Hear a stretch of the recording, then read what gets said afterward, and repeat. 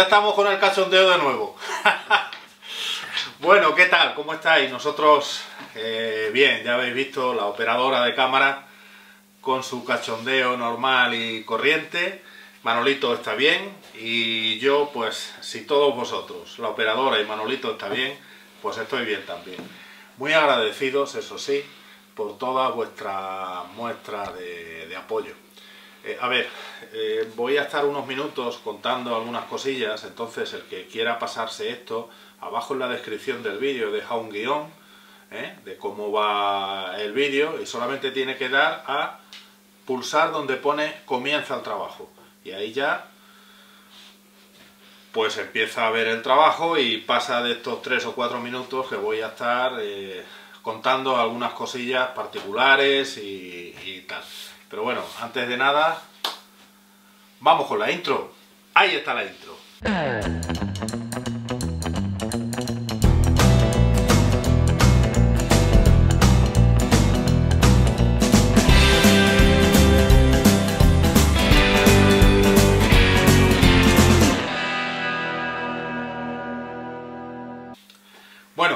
Quería contar es que, bueno, daros muchísimas gracias de nuevo, aunque hicimos un vídeo y ya os lo explicamos y ya os dijimos lo que había, pero queremos agradeceros todas vuestras muestras de apoyo que nos siguen llegando.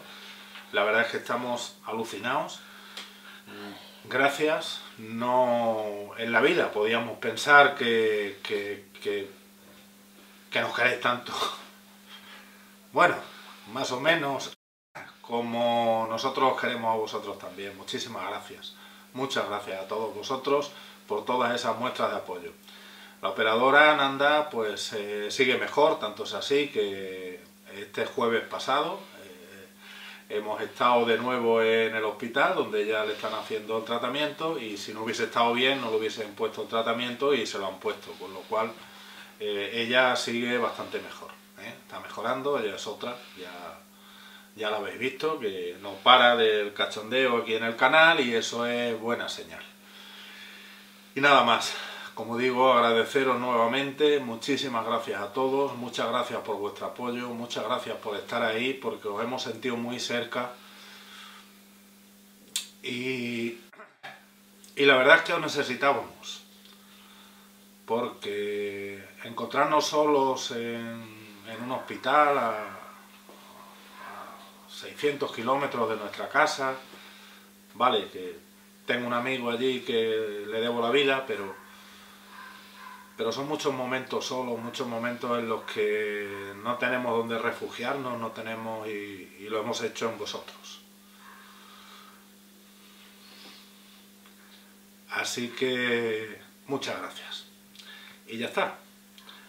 Vamos con el vídeo, que ya está bien. ¿Y el vídeo dónde está? Pues donde siempre está el vídeo. Por ahí estará. Y esta es la herramienta, como digo, que vamos a hacer. Es una guía de ingletes que es imprescindible tenerla en un taller para que no os pase lo que a mí me pasó lamentablemente que me cargué una sierra por hacer cortes pequeños aquí con, el, con lo que es la manivela del cierre del sargento este o del gato. Me cargué una sierra. Que vale, que después de esa sierra han salido dos más. El famoso cocido, que aquí te dejo una tarjeta por si quieres ver lo que hicimos, que hicimos un trabajo fino, fino, fino.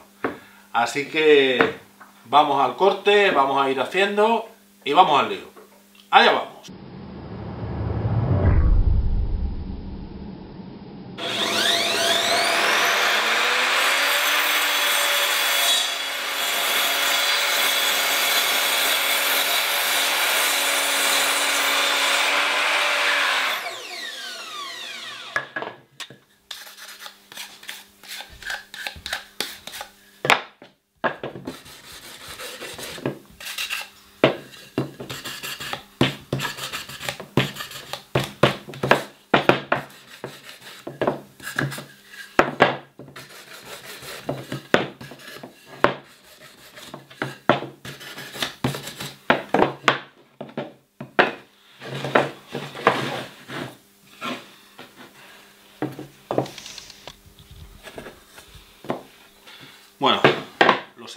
Como veis, la parte de abajo es un poquito más larga y es para utilizar esta parte eh, si tenemos que cortar algo a escuadra aquí fuera, aunque luego haremos un corte también en el, en el centro.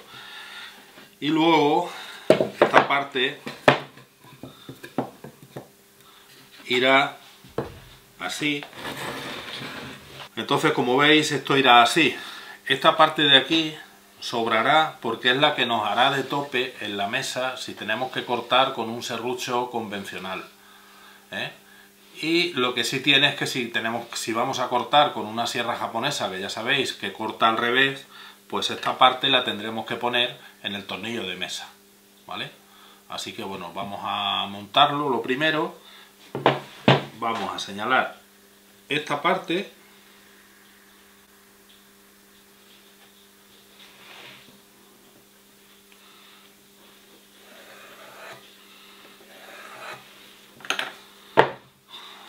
y haremos los agujeros guía para, para empezar a montar esto.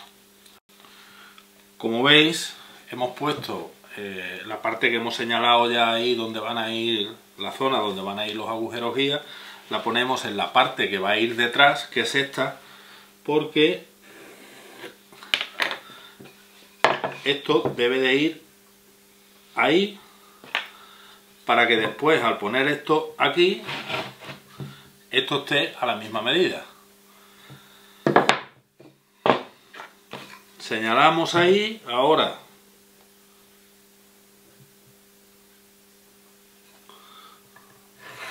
señalamos ahí y aquí tendrán que ir los agujeros guía de este lado. Aquí van los de un lado y aquí van los del otro. ¿eh? Ahí lo tenemos señalado. Así que vamos a ello.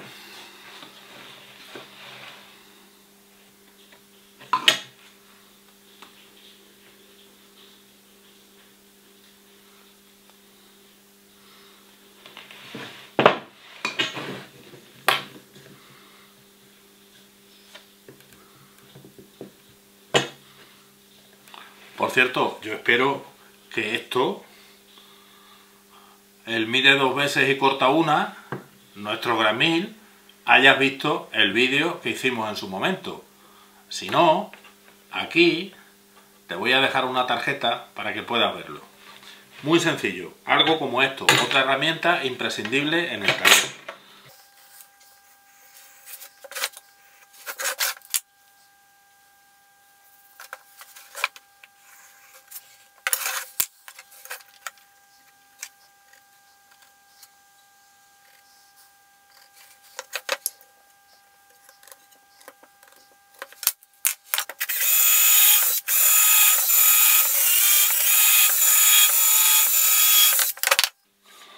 como la broca esta es buenísima, ¿eh? Te deja el agujero hecho y avellanado para que al meter el tornillo quede, quede al ras. Bien, pues ya lo que queda es, es montar. ¿eh? Lo vamos a montar así, como os digo, para que quede aquí esto y nos sirva de base para poder cortar a escuadra. Otra cosa buenísima, la Gluebot esta. Vale 14 o 15 euros me parece, pero es buenísima para la cola. La operadora ahí la tenéis riéndose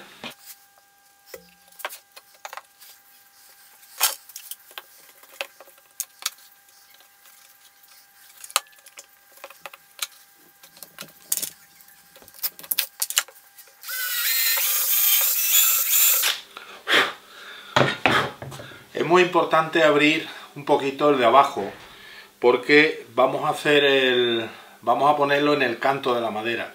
Y si no abrimos un poquito el de abajo puede ser que el tornillo nos abra el canto. Entonces de esta forma que hemos abierto ya el tornillo va a entrar y ahí queda perfectamente. Entonces como veis ya tenemos la primera parte. Ahora vamos con la segunda. Bien, pues una vez que ya lo tenemos así hecho, como veis, aquí a la hora de cortar, esto solo sujeta, pero claro, tenemos dos opciones. Para cortar con un serrucho normal y corriente, de los que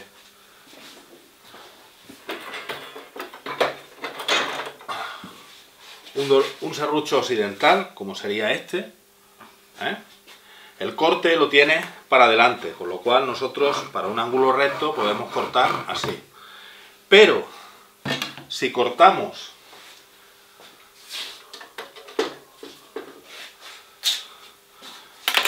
con un serrucho oriental como es este, que el corte lo tiene para atrás, es así, el corte es para acá y entonces se puede mover. ¿Qué es lo que pasa? En ese caso lo que hacemos es ponerlo aquí y esto ya pues no se mueve. De hecho, si os fijáis, el recorte que he elegido, que va a ser el que va a estar sujetando esto tanto con un serrucho como con una sierra japonesa, es más grueso para que tenga eh, mejor agarre, porque este es el que más va a sufrir. Ahora lo que vamos a hacer son dos cortes.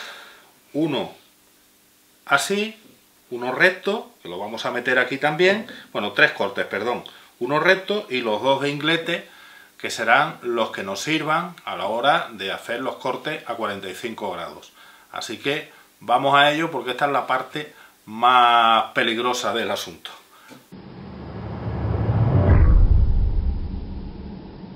Bien, pues primero vamos a señalar el corte a, a 90 grados, que es este.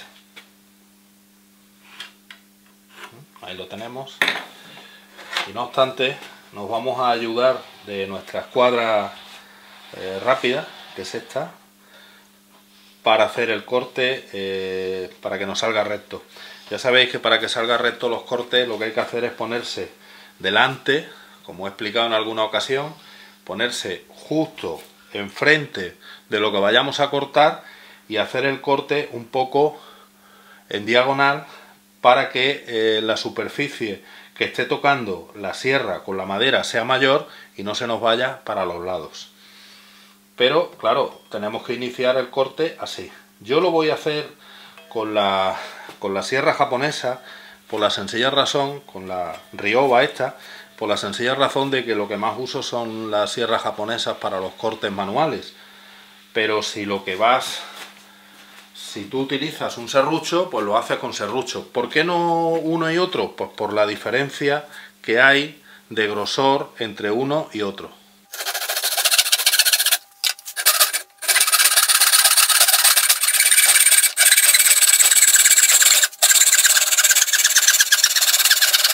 Hemos bajado un poco el corte a la tabla de abajo para que al cortarlo corte entero. Eh, ahora vamos a señalar los de 45 grados y ya lo tendríamos terminado.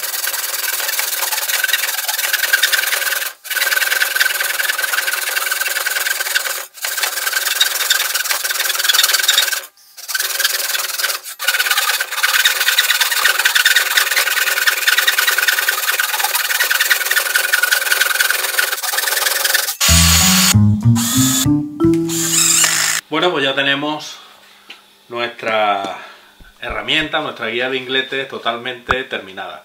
Ahora lo que tenemos que hacer es ver si efectivamente eh, funciona, o sea, si la hemos hecho bien. Entonces, el corte recto está claro que sí,